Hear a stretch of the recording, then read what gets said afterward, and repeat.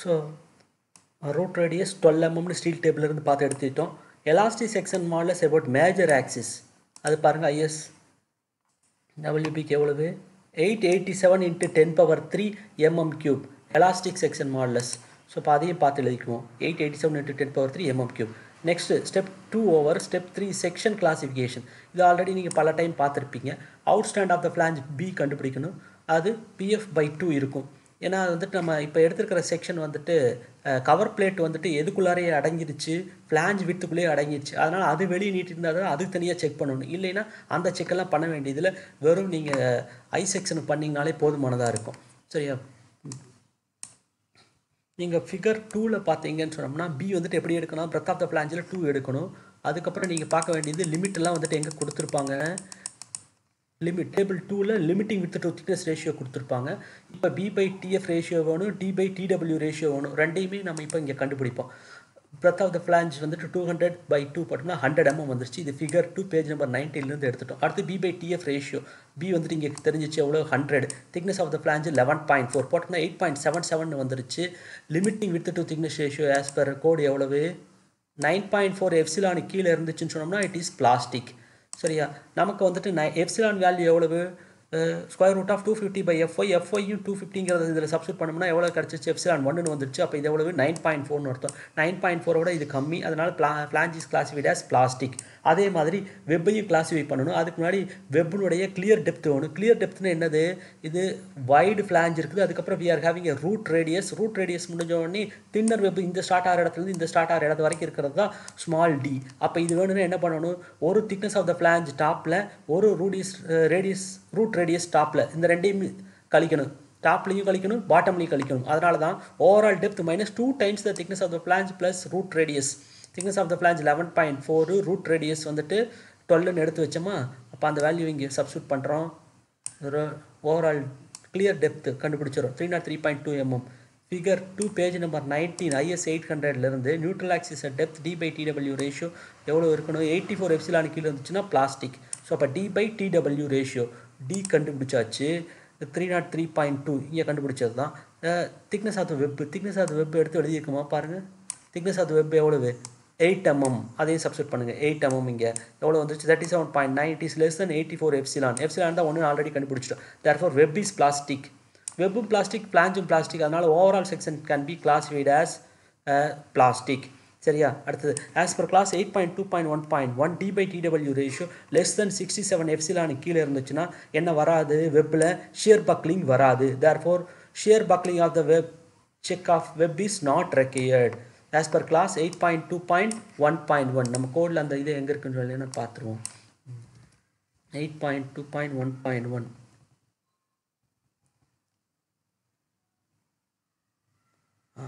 பாருங்கள் eight point two point one point one sections with webs susceptible to shear buckling before yielding. எவ்வளோ limit D by DW less than sixty seven epsilon ஓகேவா so அப்போ அடுத்தது check for shear capacity check for shear capacity இதெல்லாம் already நம்ம பார்த்தது தான் design shear force இந்த சம்மில் எவ்வளோ நம்ம கால்குலேட் பண்ணி வச்சிருக்கிறோம்? ஸ்டெப் ஒன்னில் two naught nine point four seven five kilo newton check பண்ணி பார்த்துலாமா two naught nine point four seven five தானா? Two naught nine point yes two naught nine point four seven five kilo newton so அப்போ நம்ம எடுத்திருக்கிற section எதை விட shear ஜாஸ்தியாக தாங்கணும்? அதை விட ஜாஸ்தியாக தாங்கணும். Design shear strength of the section Vd equal to Av into எஃப்ஐடபிள்யூ by root three into one by gamma m naught இது எங்கேருந்து எடுக்கிறாங்க? Clause eight point four page number fifty நைன்லேருந்து எடுக்கிறாங்க. Page number fifty nine page number fifty nine பாருங்கள் condition for shear is v less than or equal to vd VN, vd வேணும்னா vn by gamma m naught vn equal to vp vp equal to av into FAW by root 3 அப்போ டேரெக்டாக vd equal to என்ன எழுதிடலாம் av into FAW by root 3 into 1 by gamma m naught எழுதிடலாம் சரியா where av is the shear area av equal to shear area shear area எப்படி calculate பண்ணணும்னு சொல்லிட்டாங்க channel R ஐ செக்ஷனுக்கு எப்படின்னு சொல்லி கொடுத்துருக்காங்க அவங்க பாருங்கள் ஃபார் ஹாட் ரோல்டு செக்ஷனா H into DW overall height into thickness of the web ஏன்னா மோனோலித்திக்காக இதை கன்ஸ்ட்ரக்ட் பண்ணியிருக்கிறதால ஸோ அப்போ Av equal to h into DW for rolled section as per clause eight point four point one point one page fifty nine so அப்போ இப்போ எல்லாமே தெரிஞ்சிருச்சா? இதில் சப்ஸ்டியூட் பண்ணிடலாமா? Av three fifty into eight two fifty by root three into one by one point one gamma M nought வந்துட்டு table five page number தேர்ட்டிலேருந்து எடுத்துவோம் இது நியூட்டனில் வரும். Divide by ten power three போட்டிங்கன்னா கிலோ நியூட்டனில் வந்துருச்சு. எவ்வளவு? Three sixty seven point four zero kilo newton நம்ம செலக்ட் பண்ண வெறும் ஐ செக்ஷனே இவ்வளோ லோடு எடுக்கும். நம்ம இது எதை இல்லாமையே நான் பேசிகிட்டு இருக்கிறேன். மேலே வச்சுருக்கிற பிளேட் தனியாக வச்சுருக்கிறதுனால அதில் ஒட்டி இருக்கிறது எப்படி எந்த அளவுக்கு ஷியர் ஆகுங்கிறதே பார்க்கல. அது இல்லாமல் இதுக்கு மட்டும் பார்த்தாலே இவ்வளோ லோடு தாங்குது. வர லோடு இவ்வளோ தான் சார். அதை விட இது ஜாஸ்தியாக தாங்குது. V is less than or equal to Vd therefore safe in shear so அப்போ அடுத்து லோ ஷியர் கேஸாக ஹை ஷியர் கேஸ்ன்னு பார்க்கணும்னா இதில் sixty percent of the shear capacity பார்க்கணும். Three sixty seven point four zero into point six போகணும் அதோட sixty percent பார்த்தா two twenty kilo newton sir இது டூ நாட் நைனை விட ஜாஸ்தியாக இருக்குது சார் சிக்ஸ்டி பர்சன்டே வியை விட ஜாஸ்தியாக இருக்குது சார் அப்போ V is less than point six Vd therefore it is comes under the category of low shear case ஓகேவா அடுத்து step five check for design bending strength design bending so low shear கேஸ்னு சொல்லியாச்சு. அப்போ low shear கேஸுக்கு design bending strength கண்டுபிடிக்க. Formula Md equal to beta b Zp fy by gamma m naught less than one point two Z fy by gamma m naught as per clause eight point two point one point two page number fifty three page number fifty three போகணும். நம்ம fifty நைனில் இருக்கிறோம்.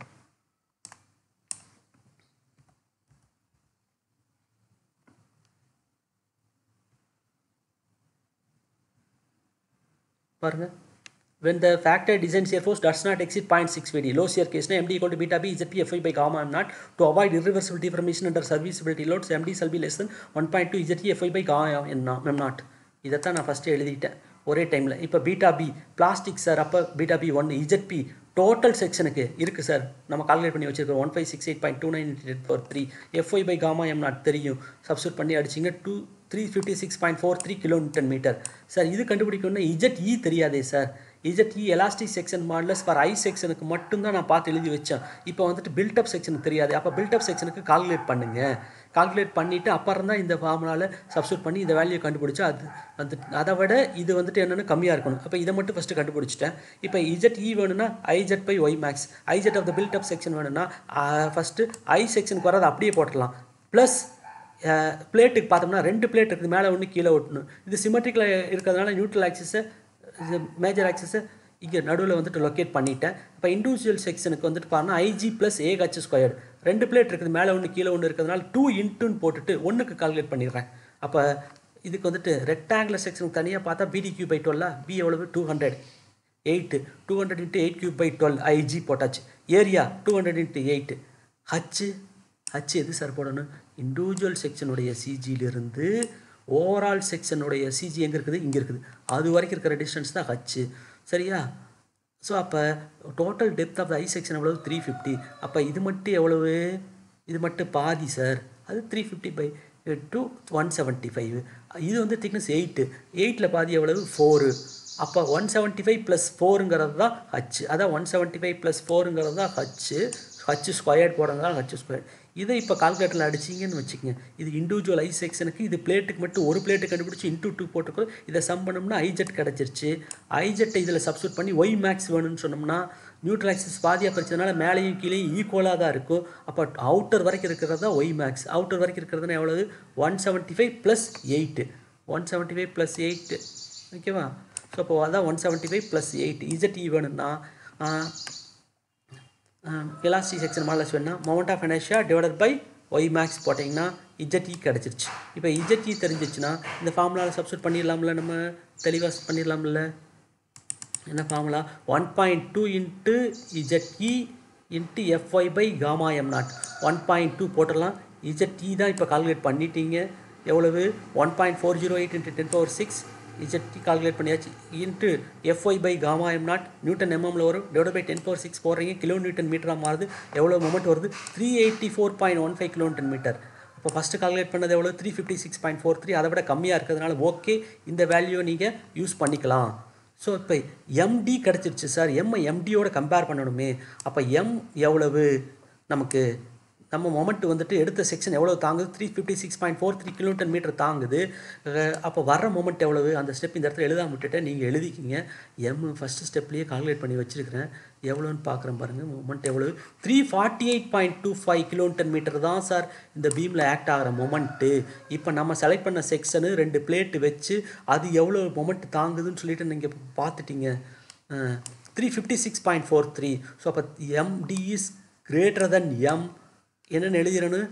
Therefore safe in bending therefore safe in bending so அப்போ இப்போ design முடிஞ்சிருச்சு. அடுத்தது சர்வீசபிலிட்டிக்காக check பண்ணணுன்னது check for deflection deflection should be checked under serviceability limit state உங்களுக்கே தெரியும். ஸோ அதுலேயும் எதுக்கு தான் பார்க்கணும்? இம்போஸ் லோடுக்கு தான் பார்க்கணும். அந்த லிமிட் எல்லாமே எங்கே கொடுத்துருப்பாங்க? Table six page number thirty ஒனில் கொடுத்துருப்பாங்க. ஸோ அப்போ டேபிள் சிக்ஸ் தேர்ட்டி ஒன்னுக்கு நான் போகிறேனே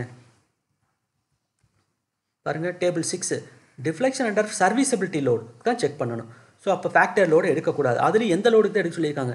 லைவ் லோடுக்கு மட்டும்தான். சிம்பிள் ஸ்பேனு இது வந்து எலாஸ்டிக் கிளேடிங் சப்போர்ட் பண்ணுதா? பிரிட்டில் கிளேடிங் பண்ணுதா? சார் இது வந்துட்டு ஒரு ஹாலில் இருக்கிற ஸ்லாப்லோட இந்த வீவு தாங்குது. அப்போ பிரிட்டில் கிளேடிங் தான். அப்போ அதுக்கு எவ்வளோ தான் நீங்கள் எடுத்துக்கணும்? Permissible deflection span by three hundred span by three ஸ்பேன்னா எந்த ஸ்பேன் எடுத்துக்கணும்? கிளியர் ஸ்பேன் எடுத்துக்கணும்.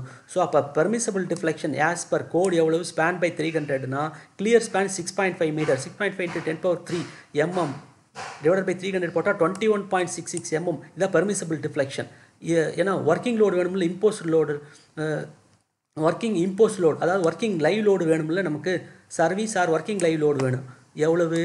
நம்ம ஃபேக்டர்டு தான் கண்டுபிடிச்சி வச்சுருப்போம். ஃபஸ்ட் ஸ்டெப்பில் பாருங்கள் எவ்வளோ ஃபேக்டர்டு தான் ஃபார்ட்டி ஃபைவ் அப்போ forty five divided by three போடணும். அதுதான் வந்துட்டு உங்களுக்கு என்னது? சர்வீஸ் லோடு எவ்வளோ கிலோ நியூட்டன் பர் மீட்டருங்கிறது ஏன்னா சர்வீஸ் லோடுக்கு தான் செக் பண்ணணும்னு சொல்லியிருக்குது.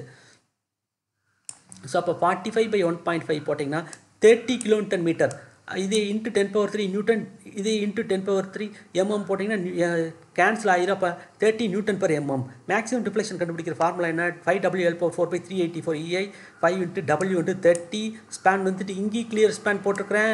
இங்கேயும் கிளியர் ஸ்பேன் போடுறீங்க. Three eighty four E value two into ten power five தெரியாதவங்க எங்கே பார்த்துக்கலாம்னு சொல்லிட்டோம். Clause two point two point four point one page டுவெல்லில் இருக்குது. அதையும் பார்த்து எழுதிக்கலாம். ஸோ இது வந்துட்டு என்னது? ஐ வேல்யூ வேறு வழியே இல்லை. ஐ கண்டுபிடிச்சி தான் ஆகணும். இங்கே கண்டுபிடிச்சிருக்கோம் பாருங்கள் ஐ வேல்யூ எதுக்கு இந்த ஐ வேல்யூ யூஸ் பண்ணுறோம் சார் இதுதான் வந்துட்டு செக்ஷனுக்கு ப்ளஸ் ரெண்டு பிளேட்டு வச்சு மொத்த செக்ஷனுக்கு எடுத்தது ஐ அப்போ அதை வச்சு தான் நம்ம கால்குலேட் பண்ணணும். அப்போ அந்த ஐயோ தான் இங்கே சப்ஸ்டியூட் பண்ணணும். ஞாபகமாக நீங்கள் அப்போ போட்டு பர்மிசபிள் டிஃப்ளெக்ஷன் கண்டுபிடிச்சிங்கன்னா எவ்வளோ வந்துச்சு? Thirteen point five two five mm that is less than twenty one point six six mm therefore safe அடுத்தது பெண்டிங் இருக்கிறது. Check for web bearing web bearing stiff bearing length எவ்வளோன்னு ஹண்ட்ரட் எம்எம்னு அவங்களே கொடுத்துட்டாங்க. இதில் வந்துட்டு நமக்கு என் சப்போர்ட்டில் சப்போர்ட் ரியாக்ஷன் அப்வேர்டாக ஆக்ட் ஆகும். ஸோ அப்போ அந்த லோடை விட எது ஜாஸ்தியாக இருக்கணும்? வெப் பக்லிங் ஸ்ட்ரென்த்து ஜாஸ்தியாக இருக்கணும். Or web bearing strength web bearing strength கண்டுபிடிக்க ஃபார்முலா என்னது? P one plus N two into D W into F I W by gamma M not இது எங்கே இருக்குது? Page number sixty seven class eight point seven point ஃபோரில் இருக்குது கோடில்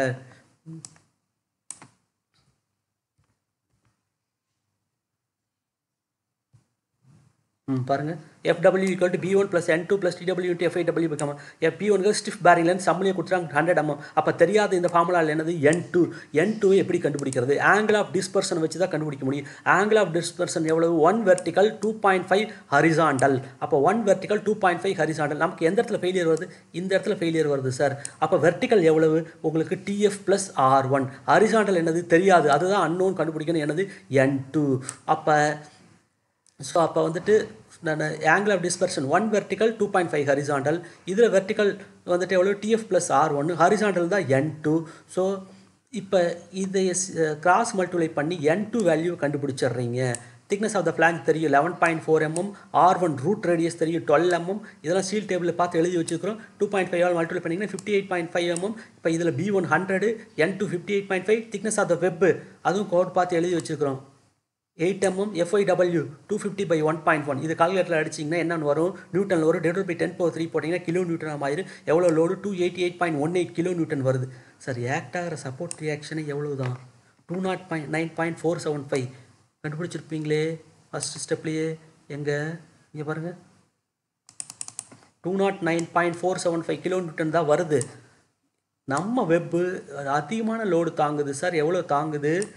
Two eighty eight point one eight kilometre தாங்குது. So அப்போ இது வந்துட்டு safe therefore safe in bearing இப்போ இதுவே நீங்கள் வந்துட்டு க எண்டில் தானே இது பண்ணிக்கிறேன். இதை பாருங்க எண்டினுடைய டயக்ராம் போடுறேன் பாருங்கள் சைட்லேருந்து பார்த்தோம்னா ரெண்டு ஃப்ளான்ஜ் தெரியுது. கீழே நான் என்ன போட்டிருக்கிறேன்? வெப் ஸ்டீ இதை stiff bearing length hundred mm இதில் தான் சப்போர்ட் ரியாக்ஷன் ஆக்ட் ஆகுது. எந்த இடத்துல ஃபெயிலியர் நடக்குது? இந்த இடத்துல நடக்குது. அப்போ ஆங்கிள் ஆஃப் டிஸ்பர்ஷன் எவ்வளவு? இவ்வளவு. அப்போ இந்த வித்து தான் போடணும் நீங்கள் வித்து அந்த வித்து தான் என்னது? B one plus n two அப்போ இது வந்துட்டு பி ஒன் எவ்வளவு? பி ஒன் எவ்வளவு? ஹண்ட்ரடு அப்போ தெரியாதது என்னது? என் டூ அப்போ ஒரு பக்கம் தான் ஆங்கிள் ஆஃப் டிஸ்கர்ஷன் வரதுனால ஒரு என் டூ மட்டும்தான் போட்டிருக்கிறீங்க. ஓகேவா ஸோ இப்படி தான் வந்துட்டு நீங்கள் என்ன பண்ணணும்? என் டூ ஒரு பக்கம் வருதா? ரெண்டு பக்கம் வருதாங்கிறத புரிஞ்சுக்கணும். லோடு வந்துட்டு மேலேருந்து ஆக்ட் ஆச்சுன்னா மட்டும்தான் ஆங்கிள் ஆஃப் டிஸ்பர்ஷன் ரெண்டு பக்கமும் வரும். ஓகேவா